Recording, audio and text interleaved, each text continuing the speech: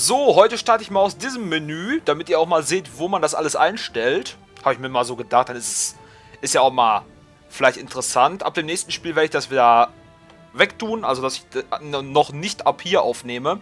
Hier kann man auswählen, 3D-Spiel, Textmodus, Videotext oder Sofortberechnung. Wir nehmen jetzt für heute den Textmodus. Dann kann man hier noch so eine Ansprache vor dem Spiel. Ähm, wir verlieren das heute nicht.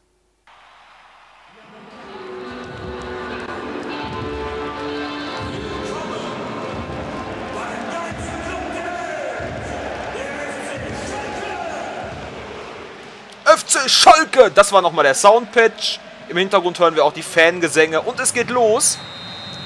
Das Spiel hat begonnen. Ersten, oh, gelbe Karte Daniel Bayer. Sofort in der fünften Minute. Na, wenn Barzos Deniger diese Linie so durchhalten will, dann beenden wir das Spiel heute mit 5 gegen 5.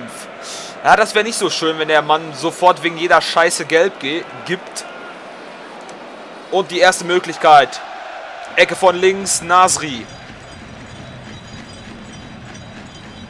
Nasri schlägt eine Ecke auf Höhe des Elfmeterpunkts, wo Torhüter Simon Jentsch nicht ein... Ja, okay, David Lewis schiebt es am Pfosten vorbei. Gut, gut, gut. Ich lese nicht immer alles vor, aber so ein paar Fetzen auf jeden Fall. Bisher nur die Schalker. Okay, bisher spielen nur die Schalker. Augsburg wohl sehr defensiv. Jetzt die nächste Möglichkeit. Eine bessere. Und Verwirrung im Strafraum. Keiner schlägt den Ball entscheidend weg. Schließlich schnappt sich Franck Ribéry die Kugel, zieht aus kurzer Distanz ab, aber Simon Jentsch ist zur Stelle. Erneute große Möglichkeit. Freistoß von rechts, Franck Ribéry. Nach einem Franck Ribéry Freistoß von rechts kommt Fernando Torres vor Daniel per Kopf, oh, weit über die Latte. Und jetzt die erste Möglichkeit für Augsburg. Jan Mo Moravec geht zweimal, der reklamiert. Okay, jetzt die nächste große Möglichkeit für Schalke. Ribéry eigentlich mit einer guten Aktion.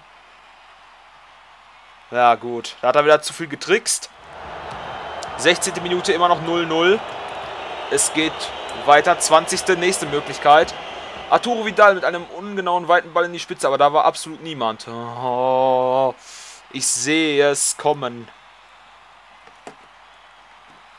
Also ich muss ehrlich sagen, im Nachhinein bereue ich die Idee, eine Mannschaft zusammenzukaufen und damit versuchen, Meister zu werden, weil ich merke in meinem privaten Spielstand, dass das nicht so gut klappt. Gelbe Karte Giovanni Sio. An der Außenlinie bringt Giovanni Sio Bastian Schweinsteiger zum Fall und sieht dafür die gelbe Karte. Schon die zweite gelbe in Bezug auf Schweinsteiger. Also der scheint viele gelbe Karten rausholen zu können. Und da zum Ende der ersten Hälfte in Flach die Partie zunimmt. Die Fehlpassquote ist merklich gestiegen. Gelungene Aktionen lassen nun schon länger auf sich warten. Und damit ist die erste Hälfte vorbei. 0-0 gegen Augsburg, ey. Wenn das so aber auch im Pokalspiel gegen die Augsburger läuft, dann wird das sehr gefährlich. Ähm, wir müssen das gewinnen, Freunde. Was macht ihr? Die motivieren wir mal, den motivieren wir auch. Dich können wir loben, Vidal. Du machst das sehr gut. Ähm, ne, Nasri war das gut. Vidal ist er hier. Ah, toll, ich hätte Marcelo auch loben können. Na, da kriegst du dafür eine Massage, genauso wie Ribery. Wem können wir noch eine geben? Komm, kriegt Vidal auch noch eine. So, auswechseln. Hm. Wenn wir überlegen, komm, wir tun Huntela rein. Sonst lassen wir es aber erstmal so.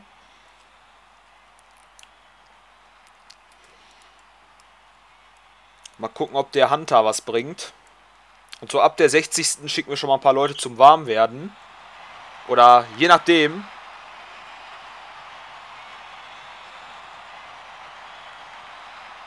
Der Schiedsrichter müsste über einen Abbruch nachdenken. Warum das denn?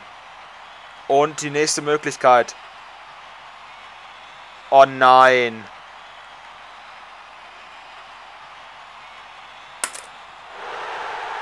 Und da ist es passiert. 1-0 Milan Petrezla oder so ähnlich. Oh, jetzt müssen wir... Jetzt, oh nein, nein, nein, nein.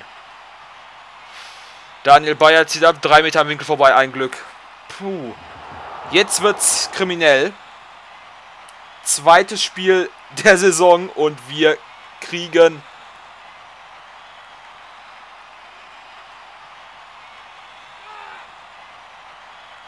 Oh, kommt, Freunde.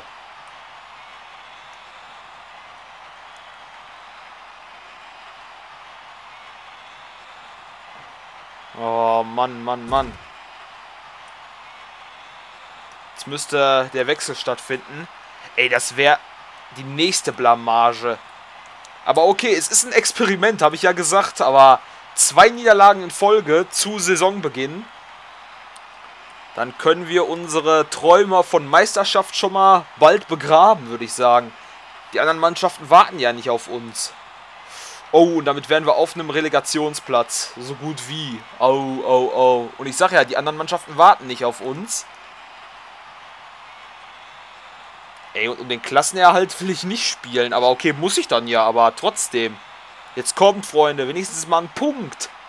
Ein abgefälschter Schuss fällt genau auf die Stirn von Neymar. Der, der noch Brasilianer, nee, der noch frische Brasilianer köpft aber genau in die Arme von Simon Jentsch.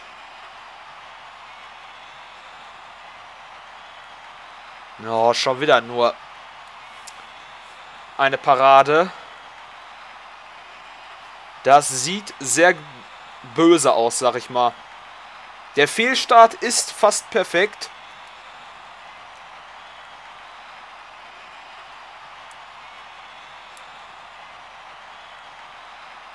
Matthias Ossek behindert Philipp Lamm erfolgreich am Flanken und klärt zur Ecke. Jetzt kommt Ecke.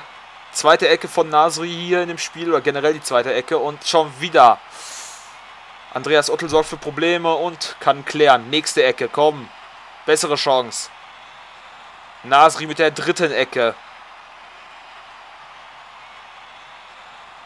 Ja.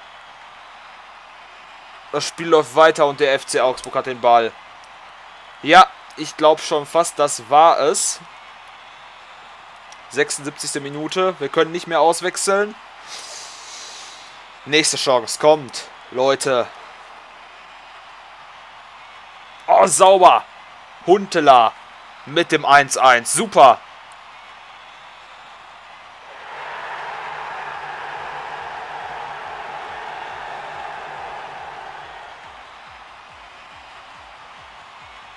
Torhymne hört man auch so gut wie gar nicht. Also. Achso, ich habe die Torhymne auch noch gar nicht geändert. Mist, ich habe ja jetzt den Soundpatch und da hätte ich eine neue Torhymne einfügen müssen. Verdammt. Gut. Mal gucken. Ist hier noch was möglich? 1-1 steht's. Kommt, Freunde. Ja, komm. Bitte. Schöner Steilpass auf Klaas-Jan Hunterla, aber der schießt viel zu früh und trifft den Ball nicht richtig. Weit vorbei und vollkommen harmlos.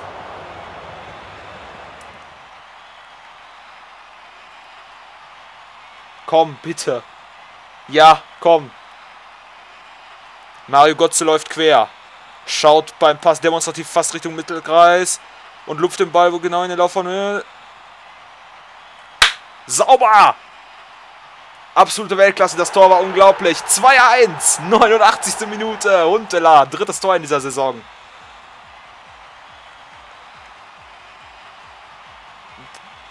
Drei Minuten Nachspielzeit. Komm, Pfeif ab. 2-1 gewinnen wir. Zu Hause gegen Augsburg. Das war der Sieg, den wir brauchten. Top-Leistung von Neymar und Götze. Das war Gold wert, die beiden reinzubringen. Ja, und damit sind wir wieder im Mittelfeld. Puh, also... Meine Fresse. Geil. Wenigstens ein Sieg gegen Augsburg. Knapp, knapp, knapp, aber okay. Dann gehen wir mal hier in die Nachbesprechung. 4-1 Leverkusen an Dortmund dran. Leverkusen, die gehen hier in dem, im Fußballmanager richtig ab. Also bei mir im privaten Spielstand, wo ich mit den Bayern spiele, da ist das richtig schwer, noch an die ranzukommen. Sind, ich bin da jetzt beim 20. Spieltag oder so. Oder beim, nee, ich glaube es war schon beim 22. oder so. Und hab, und muss auf einen Patzer von Leverkusen hoffen und Leverkusen schlagen, wenn ich alles gewinne um noch an diese Säcke ranzukommen. Also es wird schwer. Aber okay, wir sind hier mit dem FC Schalke, haben unser zweites Spiel gewonnen. Mit 2-1. Was, ey, ey, was ein krankes Spiel. Aber okay. ähm, die Stimmen. Was mir nicht gefallen hat, war, dass wir nicht ballsicher waren. Wir haben zu viele Fehler gemacht. Wenn man führt, muss man den Ball auch mal einfach laufen lassen können. Ja, haben wir ja. Ey, wir haben ja nicht mal geführt. Wir haben zum Schluss 89. Ja, auf den Druck. Was für ein Druck. Also, die Kommentare sind teilweise ein bisschen komisch. Starke. Starke auf Nummer 1. Steht der jetzt bei Bayern im Tor? Hm. Naja, sehr viele Leverkusener hier. Götze von uns mit drinne. Beste Spieler. Götze ist nicht hier mit bei. Da ist Götze, aber jetzt hier. Naja, insgesamt, ja, komm, passt schon alles. Wir gehen weiter zur Vorbereitung auf das Spiel gegen Reuter Fürth. Wir fahren nach Fürth. Ne, können wir nicht. Können wir gerade nicht nehmen. Ja.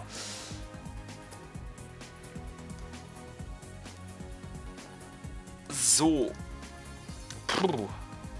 Ja, ich muss das jetzt gerade erstmal ein bisschen sacken lassen. Also das war jetzt echt gemein, sag ich mal. 2-1, aber immerhin gewonnen. Jetzt haben wir erstmal, oh, wir haben eine Woche frei. Danach geht es nach, Kräuter Fürth. Und danach steht schon unsere erste Begegnung in der Meisterliga an. Hier seht das noch Champions League, ne? Das Champions League-Symbol. Ich habe es in meinem, in meinem privaten Spielstand ist es schon äh, aktualisiert. Da steht UEFA Champions League. Durch eine kleine Edi Editierung, sag ich mal. Alaba noch 16 Tage verletzt, okay. Toiletten im Stadion, ey.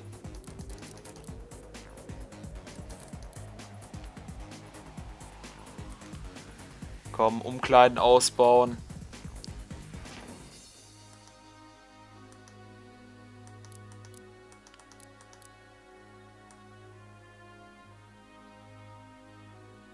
So, habt ihr eure scheiß Toiletten. Aber das Traurige ist, das wird nicht mehr übernommen.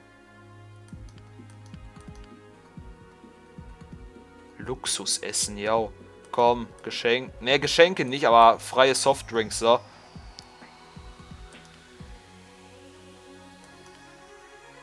So, mehr können wir nicht machen. Aber ich sag mal so, wir haben die Kohle. Da können wir sowas ruhig machen. Puh. Gräuter führt wieder so ein Spiel, was eigentlich gewonnen werden muss. Auch wenn Gräuter führt, sind die bei uns auf dem dritten. Wir haben 1,45 Milliarden Euro ausgegeben. Kräuter führt es auf dem dritten Platz. Für guter Saisonstart für den Aufsteiger.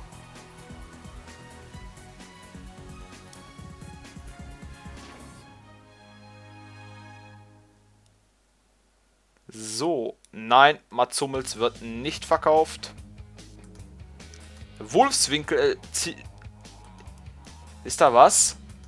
Den Wolfswinkel, den holen wir wieder in die erste. Dafür geht ein anderer runter. Ach, die sind alle... Ach, die sind alle eh noch. Ja, die sind alle... noch auf Nationalmannschaftskurs. Ab heute werde ich euch auch in die Beschreibung meine Patchliste, welche Patches ich benutze. Ich weiß nicht, ob ich Links mit reinpacke, aber ich werde euch die... Ja, ist eigentlich alles von FM Corner. Also, ne, kann ich euch einen Link in die Beschreibung packen, weil ich habe mehrere Patches. Den Soundpatch habe ich installiert. Jefferson Verfund fällt aus, zwei Tage. Ja, ist wieder fit.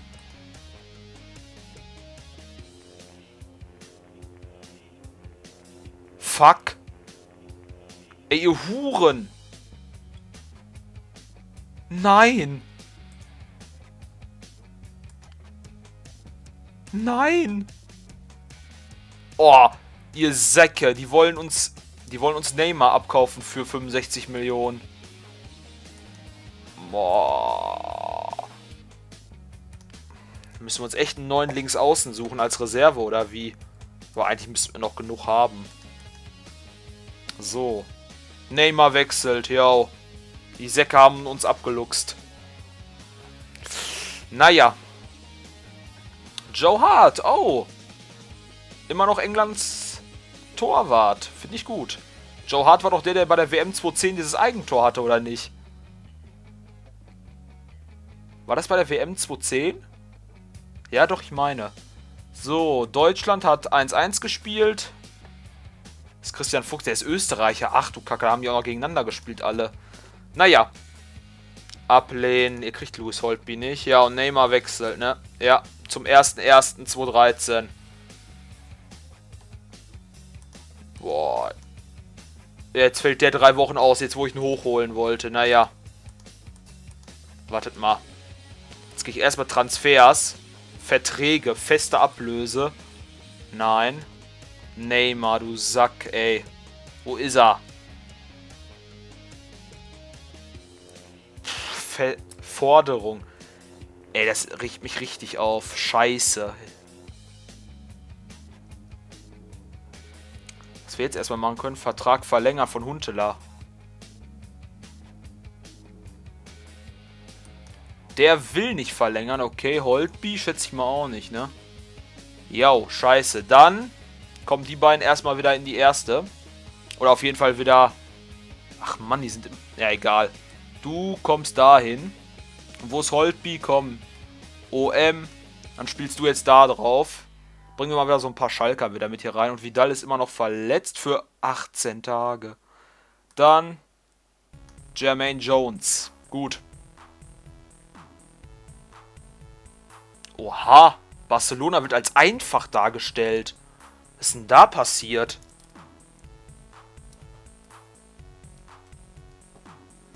Ja, aber okay.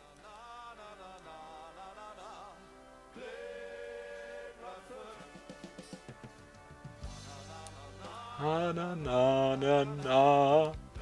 Ja, Gräuter führt. So. Gräuter führt steht als nächstes an. Die möchte ich erstmal von ihrem Thron runterholen. In ZM. Wen können wir denn da? Neymar, du bist für mich raus. Erstmal Kedira. Ne, dann packe ich Kedira da mal rein. Neustädter haben wir da noch. Gut, unser Torwart schwächelt ein bisschen. Komm, nehmen wir den aktuellen... Unseren aktuellen zweiten mal rein. Patrizio, mal gucken, wie der sich schlägt. Die Bayern haben eine 852er Mannschaftsstärke. Die sind wiederum... Äh, mal, liegt das jetzt an? Weil ich Neymar rausgenommen habe?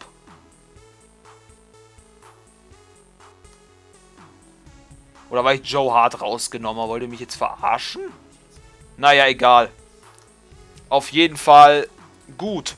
Hätten wir das soweit. Wir haben noch ein paar Nachrichten. Scouting abgeschlossen. Joel Matip ist wieder fit. Jo. Wir sollen noch ein bisschen mit unseren Spielern reden, schätze ich mal.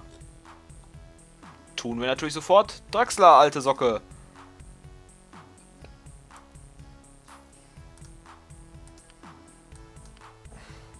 Okay, Christian Fuchs. Training alles. Ja, die meisten werden natürlich bockig sein, weil sie nicht spielen, aber okay.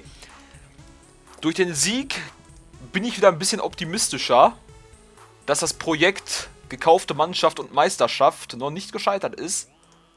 Alaba.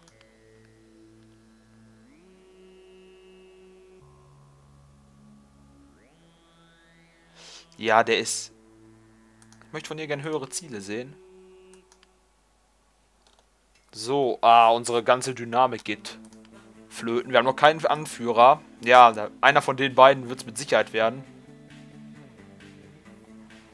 Ja gut, es ist zusammengekauft, ne? Ist klar, dass die sich nicht wirklich verstehen. Das ist halt Entwicklungszeit. Ach du Kacke, was haben sie denn hier jetzt, hä?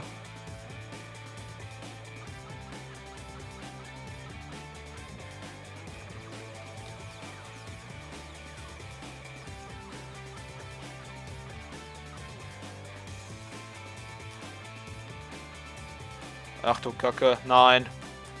Eigentlich müsste ich die Aufgaben ja alle abgegeben haben, also... Es gab Beschwerden, seht ihr? Was soll der Quatsch? Ich habe das hier höher gestellt.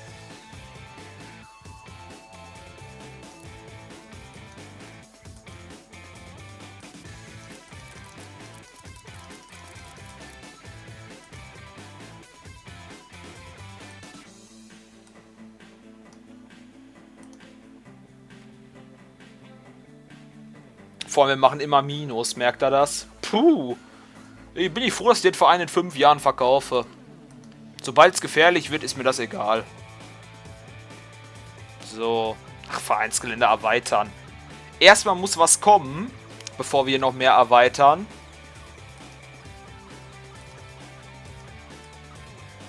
Ach nee, gut. Gucken wir nochmal in die Taktik rein. Bevor wir... Ne, komm, Holpi ist unzufrieden, Huntela ist unzufrieden. Euch gebe ich die komplette Kontrolle.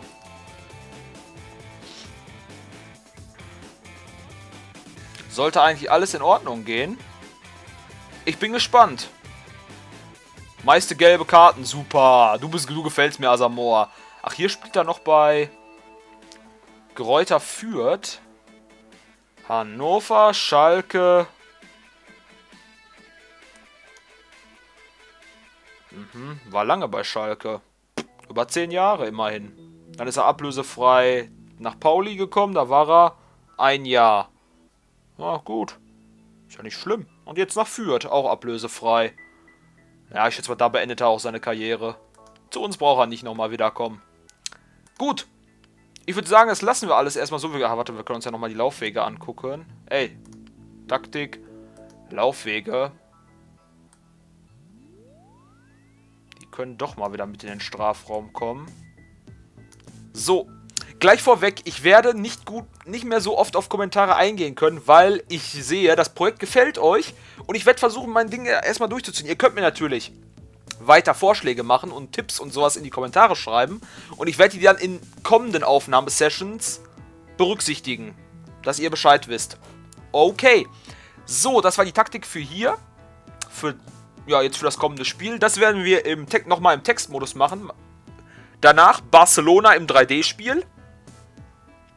Bayern auch nochmal 3D-Spiel und dann erstmal wieder zweimal Textmodus. Und Galatasaray gibt es dann auch wieder 3D-Spiel, Wolfsburg Textmodus, Dortmund müsste auch wieder 3D-Spiel sein. Ja, ne, FCN da, diese komische Nordirland-Kacke da. Ne, Nordirland ist es gar nicht. Mal kurz gucken. FC Nordisise in, in Dänemark. Ach du Kacke. Naja, Gut, ich, ich entscheide das von Spiel zu Spiel, aber solche Spiele wie gegen Barcelona, Bayern, Dortmund, Galatasaray, die Europa, also die Champions League Spiele, die gibt es alle im 3D-Modus, ist doch klar. Gut, wir sehen uns dann in der nächsten Folge, die vielleicht gleich schon kommt, keine Ahnung, je nachdem wie viel ich jetzt aufnehme, wie weit ich spiele. Ja, bis denne. Tschüss.